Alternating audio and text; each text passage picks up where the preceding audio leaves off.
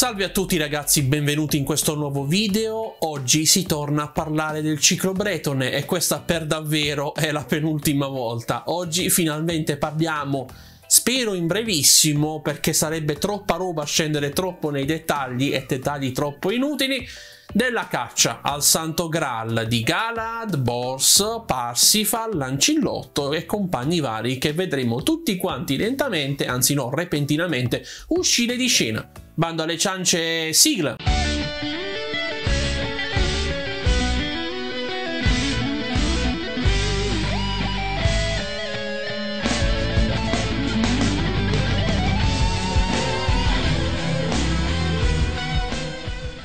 Prima di iniziare vi ricordo come ho fatto con la clip a inizio video che è uscito il mio libro Il destino di Loki, primo libro della quadrilogia del crepuscolo, trovate il link in descrizione per entrambe le versioni. Inoltre se volete sostenere il canale come vostro solito potete iscrivervi, lasciare commenti, condividere e lasciare mi piace. In descrizione trovate il link per la piattaforma viola di streaming mi trovate solitamente in live il lunedì, il mercoledì e il giovedì, trovate anche i link per tutte le mie pagine social, per le pagine per sostenermi anche economicamente tramite Paypal, Kofi, lista desideri Amazon e Patreon soprattutto. Trovate anche il link per lo store di Topolinia e per la mia pagina di docente Doceti, oltre che lo store di magliette sotto al video, l'hanno recentemente ripristinato perché boh era crollato, e anche linkato in descrizione. Detto questo, andiamo avanti. Ci siamo fermati l'ultima volta con Galad che, arrivato a Camelot, sconvolge un po' l'esistenza di tutti, perché il suo arrivo a Camelot in quel giorno di Pentecoste segna l'inizio letteralmente della fine. Appare la processione del Santo Graal, tutti quanti assistono al miracolo, Gawain, che deve sempre rompere un po' le scatolette,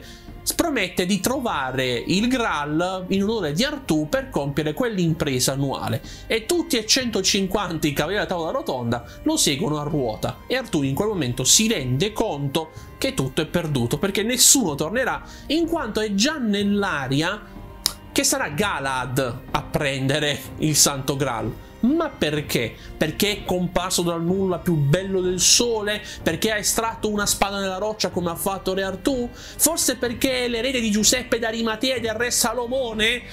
Sì, perché Galad è anche questo, da parte di madre, ovviamente, ha tutta questa discendenza perché in origine Re Pellas, Pellam, Pelles o quel che è, perché ci sono varianti del suo nome, che è il nonno di Galad, era il re pescatore della leggenda di Parsifal scritta da Chrétien de Troyes. Ma il Mallory, quando ha messo insieme tutte le nozioni, ha diviso questo personaggio in quattro re pescatori. C'è Re Pellas o Pelles o Pellam che è il nonno di Galad. C'è un altro Pellas, Pellam, Pelles, quel che è, che è un altro personaggio ancora, poi c'è il re pescatore e il re ferito, custodi del Graal in diversi momenti. Siccome c'è una grande confusione al riguardo e non serve scendere nei dettagli perché non si può scendere nei dettagli, non ci sono perché se l'è inventata di sana pianta sta divisione. Mallory io taglio subito corto e vi dico anche che seguirò pedissequamente quanto vi dice Mila nel suo libro sui cavalieri della tavola rotonda perché leggervi il Mallory potrebbe portarvi al suicidio o quantomeno a perdere 3-4 neuroni fra tutta la fuffa che succede fra tutti quanti i cavalieri. Noi ci concentreremo sulla spedizione, che tra l'altro è la cosa che fa anche Mallory aggiungendo fuffa in giro, di Bors, che è molto importante, Parsifal, Galad, ovviamente, e Lancillotto, con un piccolissimo accenno di Gawain. Al momento della partenza i cavalieri non partono insieme, ma si dividono in piccoli gruppi o partono da soli, come farà anche Galad, che è diventato da pochissimo il più importante dei cavalieri della tavola rotonda e il più prode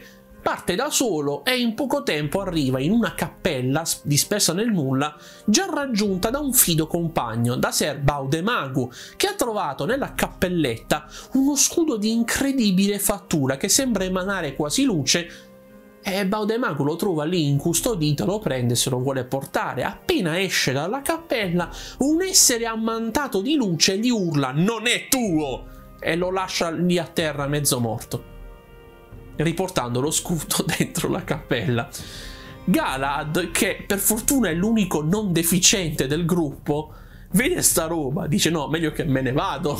Però un monaco che passa di lì, l'ennesimo NPC inutile ai fini della trama, gli dice no, no, no, no, vai, vai, quello scudo è destinato a te. Questo eremita gli spiega che lo scudo era appartenuto al re Evelak o Evelake, che aveva regnato sulla città di Sarras intorno a 32 anni dopo la morte di Gesù Cristo, in quanto aveva ricevuto quello scudo proprio da Giuseppe d'Arimatea, che era giunto in Inghilterra portando doni incredibili e ovviamente anche il Santo Graal, perché è merito di Giuseppe d'Arimatea se il Santo Graal si trova in Inghilterra. Questo re aveva utilizzato lo scudo per sconfiggere i suoi nemici, convertendosi ovviamente alla religione cristiana, poiché lo scudo aveva una croce rossa tracciata sopra e quando lo si estraeva in battaglia, lo si scopriva in battaglia, i nemici si indebolivano e garantiva praticamente la vittoria. Quando Giuseppe d'Arimatea è morto, praticamente la croce sullo scudo era scomparsa più o meno in concomitanza con la conversione totale della città di Sarras al cristianesimo. Come ultimo gesto, il re traccia col suo sangue una croce sullo scudo che da loro in qualche modo è benedetto ed è rimasto lì per secoli. L'eremita poi invita Galad a imbracciare lo scudo e quando Galad lo prende in mano sente che è fatto apposta per lui, è perfetto per il suo braccio, anche perché ride di Giuseppe d'Arimatea, il re Solomone e tutto il resto, quindi è ovvio che lui è il prescelto. Ecco, lo scudo e la spada in uh, oro rosso va ad affrontare sette fratelli briganti al castello delle Pulzelle dove ci sono per l'appunto questi sette briganti che insidiano le giovani donne che vivono lì. Prima chiede però all'eremita di salvare quel povero disgraziato di Baud Baudemagu che sta lì a terra, mezzo morto, però poi se ne va, va da questi sette fratelli e li carica di mazzate sui reni, però loro chiedono pietà e Gara gliela concede la pietà andando via per tornare alla ricerca del Santo Graal. Caso vuole che di lì passassero anche Gawain e compagnia. La coppietta di parenti, Gawain, Gareth e Ivano, uh, passano di lì, trovano sti sette fratelli che di nuovo hanno ricominciato a, a insidiare le pulselle e non hanno pietà, li macellano lì sul posto fanno praticamente la strada inversa Galvano e giungono anche loro al piccolo monastero, alla piccola cappella dove si trova l'eremita che ha consegnato lo scudo a Galad, ma l'eremita li accoglie con freddezza dicendo loro, soprattutto a Gawain, che si sono macchiati di troppi peccati per trovare il Santo Graal. Sono cavalieri solo di facciata perché gli sono permessi di uccidere parenti e amici senza neanche pensarci troppe volte. Ovviamente fanno riferimento alla sequela di omicidi che ha compiuto Gawain con tutti quanti i figli di Morgause ai danni di questo quel cavaliere, come vi ho raccontato negli scorsi video. Nei giorni successivi Gawain penserà a quanto quell'eremita gli ha detto e decide di tornarsene a casa, infrangendo persino il voto di trovare il Santo Graal, capendo che non è capace, che non è un vero cavaliere. È il primo cavaliere di origine pagana, Mallory l'ha shottato, Gawain non lo vediamo più. Fine. Cioè sì, in realtà lo vediamo che muore nella battaglia finale, però... Spoiler tra l'altro, però Qui è shottato il primo cavaliere. Gawain ha tendenze comportamentali dell'eroe pagano, celtico. Non va, non può, no. Giusto per pianificare meglio le cose, il buon Mallory ci dice che quella notte, mentre dormiva in quella cappelletta, monastero, quel che era, Galvano ha un sogno e vede 150 tori, due bianchi, uno macchiato, uh, che trovano, che sono bianchi e gli altri tutti quanti neri che vanno a buttarsi a mare in una scogliera. La metafora, e glielo spiega l'eremita lì sul posto, è che tutti quanti i tori neri non torneranno mai e non troveranno il Santo Graal. I tre bianchi ce la faranno, ma solo uno di loro tornerà vivo da questa impresa. Galvano a quel punto gira i tacchi e diventa uno dei tori neri, però non morendo ma abbandonando la ricerca. Meanwhile, in una piccola cappella sperduta nel bosco, perché Mezza abbandonata, mezza diroccata, eh, l'ancillotto si ferma lì per riposare, trovandolo un posto tranquillo. Nel bel mezzo della notte vede Parsifal, che è tornato da una sua avventura e tipo ferito quasi a morte, bussa alla porta, qualcuno apre, l'ancillotto mette un occhio dentro e vede il Santo Graal. La porta si chiude in faccia all'ancillotto e Parsifal viene curato con il liquido che stilla dalla divina coppa. Parsifal ovviamente è ammirato, ma non prova ad raccogliere il Graal e neanche fa domande, perché ricordiamoci che Parsifal non fa domande. L'eremita tuttavia gli spiega che quel Graal è lì in attesa di colui che lo troverà ed è costante oggetto di adorazione di un uomo distrutto tutto ferito, con una gamba ferita, cieco, vecchissimo, che l'eremita dice essere Re Evelake, che è rimasto lì per 300 anni, colpito da una sorta di maledizione dell'immortalità, in attesa che l'erede di Giuseppe d'Arimatea lo liberasse dalla condizione mortale e recuperasse finalmente il Graal. Il mattino dopo Parsifal esce da quella cappella capendo che deve andare a cercare Galad e deve portarlo lì. L'ancillotto vede uscire Parsifal, prova a entrare lui, la porta gli si sbatte di nuovo in faccia, ci riprova un'altra volta, l'eremita apre la porta, gli dà 3-4 pugni nel grugno e lo manda via, dicendo che l'ancillotto è impuro, ha tradito la fiducia del suo signore, si è insozzato col tradimento e la lussuria e non si merita di vedere il santo Graal. Grande eremita! In pratica impone una punizione all'ancillotto che per un mese dovrà stare in totale digiuno, astinenza, il cilicio, pregare, disperarsi e pentirsi per i suoi peccati, anche solo per entrare in quella cappella, non per vedere il Graal Graal deve pentirsi e l'ancillotto, fra amare lacrime, incomincia a farlo rendendosi conto che è un pezzo di me. Se però pensate che Parsifal, dopo aver visto il Santo Graal, abbia avuto vita facile, eh, non è vero mai, perché gli compare di fronte un bellissimo cavallo che aspetta che lui gli salga in groppa. E Parsifal pensa che sia un dono di Dio. La realtà dei fatti è che quel cavallo l'ha inviato qualcuno di malvagio per sviare Parsifal dalla sua ricerca di Galad e quindi il cavallo imbizzarrito lo trascina via, sempre perché Parsifal non si fa domande, quindi sale senza remora sul cavallo e lo getta in mare. Andiamo da un altro cavaliere. Ser Bors, cugino di Lancillotto, come vi ho detto nello scorso video, ha avuto una visione del figlio del leopardo che avrebbe superato suo padre e sconfitto ogni avversità e aveva capito che ci si riferiva a Galad, figlio di Lancillotto. Ergo lui riesce a capire questa cosa in viaggio e va alla ricerca del nipote, circa, quello che è, per avvisarlo, ma non sa dove andarlo a cercare e nella ricerca scopre qualcosa di brutto. Lionello, suo fratello, ancora parente di Lancillotto, nella ricerca del Graal, perché in realtà ragazzi sono passati molti mesi da quando è iniziata la ricerca, è tipo impazzito, si è dato alla criminalità, è un brigante e Bors è costretto a ucciderlo e si rende conto che molti altri cavalieri come Lionello stanno diventando così. Molti si uccidono fra di loro, molti uccidono innocenti e quindi vengono giustiziati dalle autorità locali o da altri cavalieri rimasti ancora per il momento sani di mente. I cavalieri della tavola rotonda stanno diventando uno dopo l'altro dei briganti. Su questo ciclo si fonda la cavalleria. È vero che nella realtà i cavalieri erano delle bestie, però su questo ciclo si fonda la cavalleria edulcorata.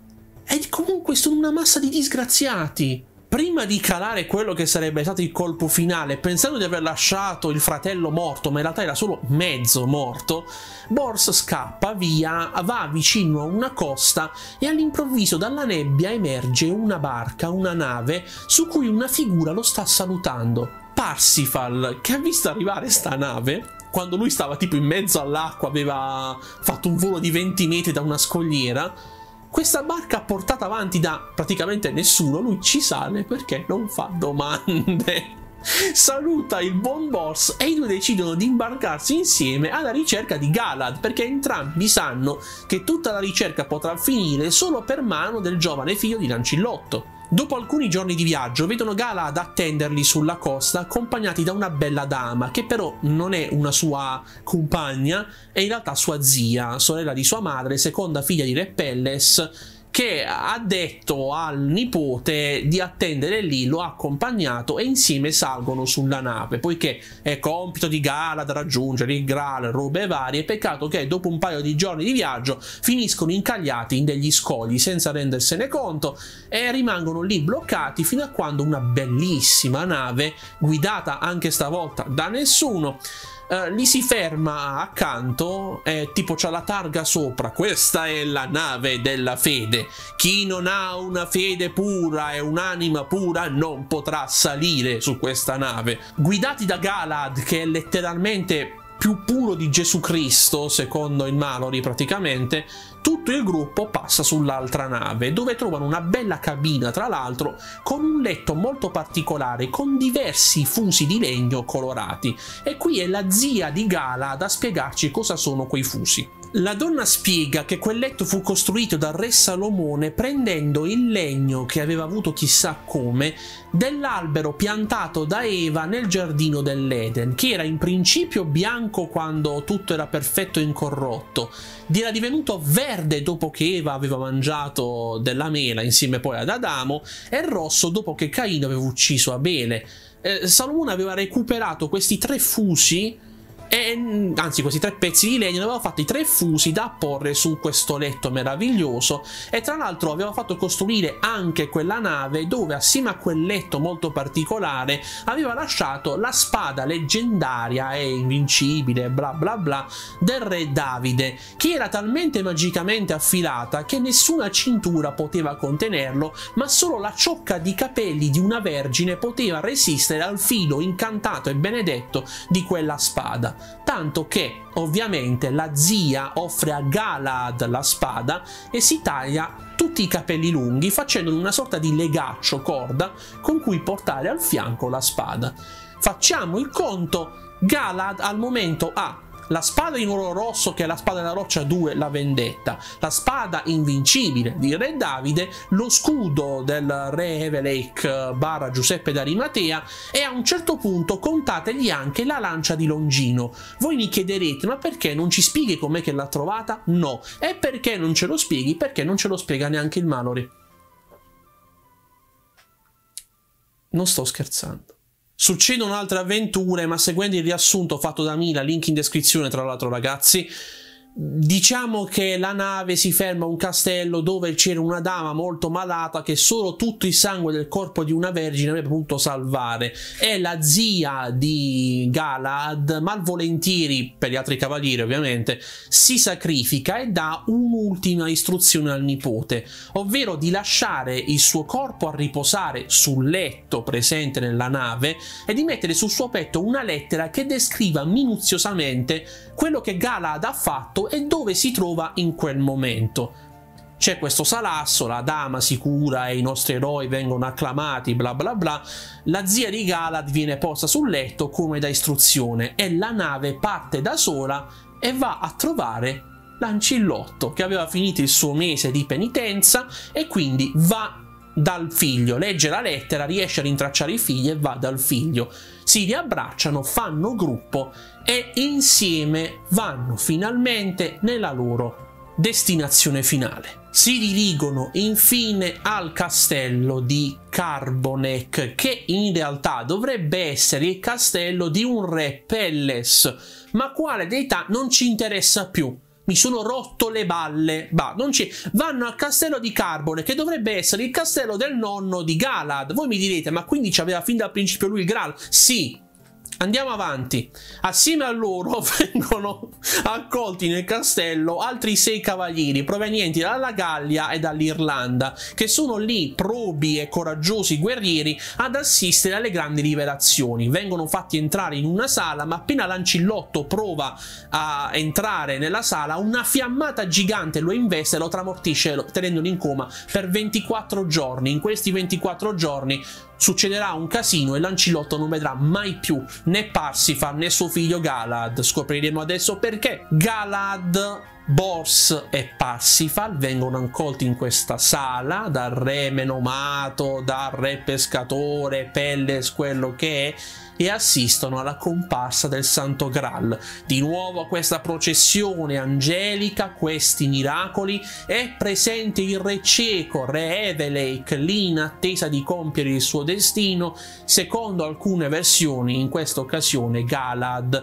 incontra Gesù Cristo e ci parla tutti bevono dalla coppa, tutti quanti assistono a miracoli incredibili e alla fine Galad accetta la coppa, dà la benedizione a Evelake cancellando il suo sangue dallo scudo ed Evelake muore finalmente dopo 300 anni. Ai cavalieri della tavola rotonda viene affidata un'ultima missione, accettano di condurre il Santo Graal alla città di Sarras, dove dovrebbe esserci il discendente di Evelake a governare, dove aveva governato tra l'altro il re pescatore cieco, malmesso, menomato, chiamatelo come volete, e, quindi i cavalieri portano il Graal in un'urna argentata, tipo le tavole della legge, l'arca dell'alleanza, lasciano lì quel povero disgraziato di Lancillotto che è in coma perché era troppo impuro per assistere ai miracoli del Graal e vanno avanti per la loro strada. Nel frattempo incontrano Ser Palamede,